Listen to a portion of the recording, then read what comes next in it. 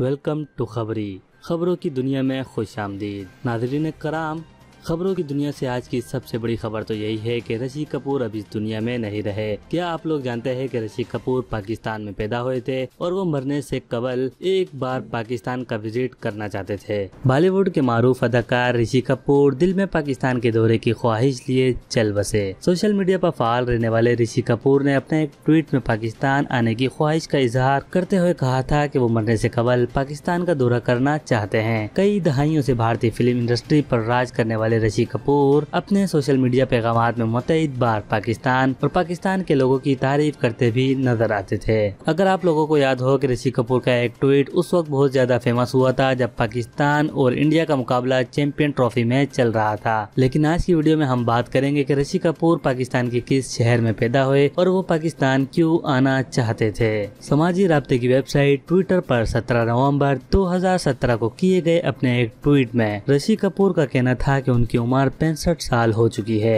मरने से कबल में पाकिस्तान का दौरा करना चाहता हूँ। उन्होंने ये भी लिखा था कि वो जानते हैं ऋषि कपूर ने मकबूज जम्मू कश्मीर के सबक वज़ीर अला फारूक अब्दुल्ला से दरख्वास्त करते हुए कहा था कि उनकी ये ख्वाहिश किसी तरह पूरी करवा दी जाए। ऋषि कपूर के आबा अजदाद का घर पिशावर में है, जो कि 1918 और 1922 के दरमियान फिल्मी सन्नत में दाखिल हुए थे। उन्नीस में हिंदुस्तान की तकसीम के बाद कपूर खानदान भारत हिजरत कर गया था। ऋषि कपूर की जानब से ये ट्वीट ऐसे मौके पर सामने आया था जब मकबूज जम्मू कश्मीर के सबक वज़ीर अला फारूक अब्दुल्ला ने अपने एक बयान में कहा था की इस्लामाबाद के जेर इंतज़ाम कश्मीर का हिस्सा पाकिस्तान के साथ ही रहेगा और ये बदलने वाला नहीं। इस बयान पर रद्दमल देते हुए ऋषि कपूर ने अपनी ख्वाहिश का इजहार किया और लिखा के, सलाम, आपके साथ बिल्कुल मुतफिक हूँ।